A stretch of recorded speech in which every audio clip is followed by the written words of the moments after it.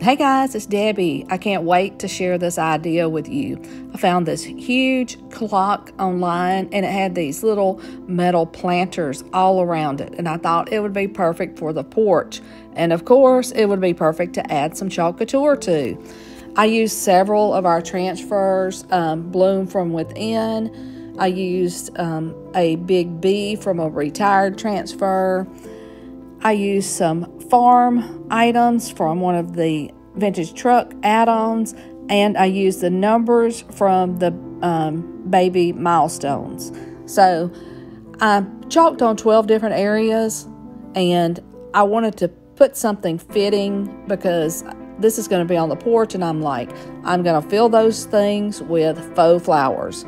Thought about putting real plants in there, but even though I do have a green thumb. I have a lazy green thumb. Once the season gets started, I get tired of watering. So I knew that I would not keep it up and decided to decorate it with chalk couture and faux flowers and faux greenery. I am loving it. It is just, it's the perfect piece for over my um, little potting table where when we have uh, relatives over, friends and relatives, we usually use that for our drink station. And you're going to see one of the other boards that I made the other day on there also. But anyway, I hope you enjoy this.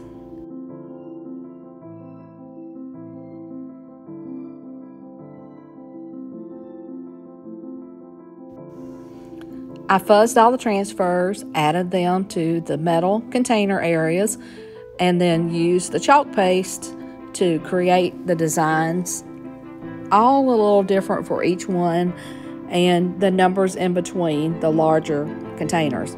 It was really quick and easy. It didn't take me long at all. And then I filled each one of the containers with, or each one of the large containers with flowers and greenery. And I left the smaller ones open. I may add something to them, but I really like the way it looks. Um, just simple and fun and colorful. Perfect for the porch.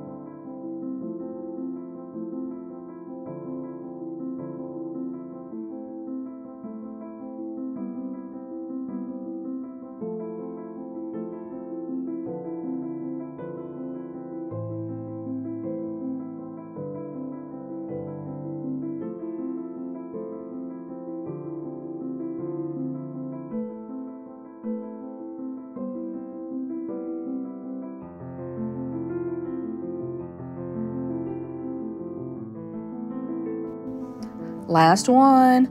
So excited.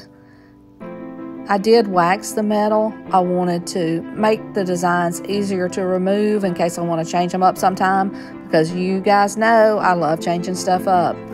And um, I got Barry to add a nail on my wall and then I hung it. Well, actually, I filled it with some flowers and greenery first and then hung it on the wall. I am loving it. Tell me what you think in the comments. Sprinkle the love. Thanks, guys, for watching.